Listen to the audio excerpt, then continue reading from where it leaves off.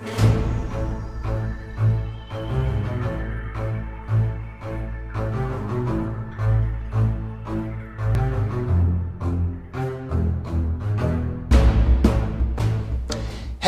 everyone, my name is Johnathan Koller, the Agent of Enigmas, and welcome to episode 2 of season 2 of my show, A Deck of Tricks, the 52-week magic challenge. I have a fun trick for you all today, and keeping with this month's theme, we're doing another rubber band trick.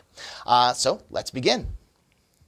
Now, this particular rubber band trick was actually the very first one that I ever learned. Uh, I was in elementary school when I learned it, and between 8 and 10 years old, I thought it was one of the coolest things in the world.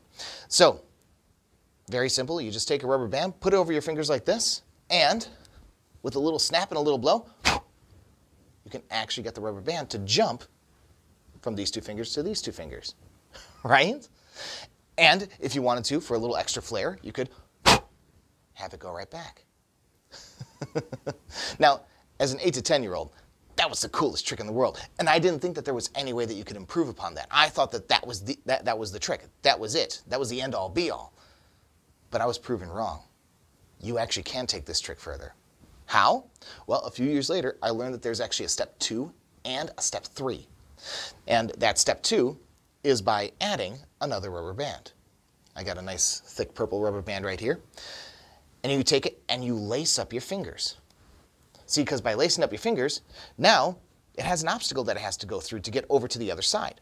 So, with a little bit of practice, I took it and I was able to make it jump again. And again, still could make it go back. But again, that's only the second step. There's a third step. And the third step is adding one more rubber band. So you can take it, again, lace it up. So then that way, now you have, what is this? One, two, three, four, five, six different obstacles that this rubber band has to go through in order to get to the other side. And again, took a little practice, but with a little bit of practice, oops, excuse me, there we go.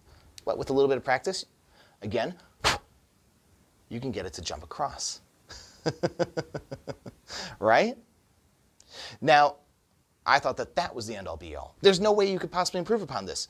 I'm also running out of finger space, so couldn't add another obstacle that way. So how could this possibly get better?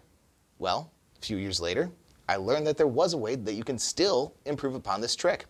Uh, hold on, it's cutting off circulation. Ah, there we go. Um, and it's not so much with the physical obstacles as it is speed. You can actually do this rapid fire. And how do you do it rapid fire? Well, you take it and um, if you can do it just right, you can actually just wrap it around your hand like this. And again, if you can do it just right,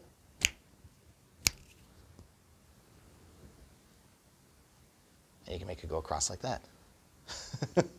right? So I guess the moral of the story is uh, don't ever accept that uh, anything is the end all be all. There are always ways that you can improve. There are always ways that you can make yourself or make a situation better.